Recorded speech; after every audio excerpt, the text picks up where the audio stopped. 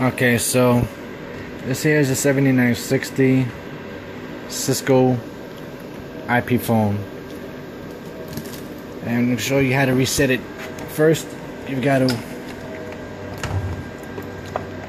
pull the power.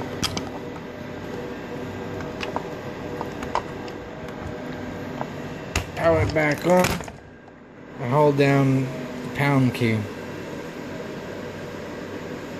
as it's powering on. It will show reset key sequence detected. One, two, three, four, five, six, seven, eight, nine.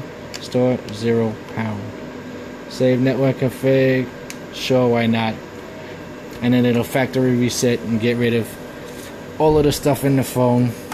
Great for when you're buying these phones used on eBay or anywhere else. I hate these phones personally, but that's how you would factory reset this to, you know, if you were going to sell it or if you just bought one, you wanted to wipe off your stuff.